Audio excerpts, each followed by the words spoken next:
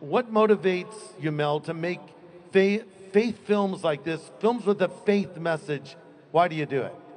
Well, faith is a real thing. Yeah. And I think that oft times, uh, well, I made the ultimate superhero film in The Passion of the Christ. That's right.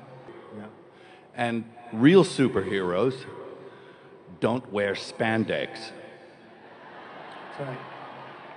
And they don't have a lot of 3D special effects, but, um, but they do operate on a higher level, on a supernatural level. And they, um, they actually look and appeal to something greater than themselves, and then they do something superhuman. Yeah.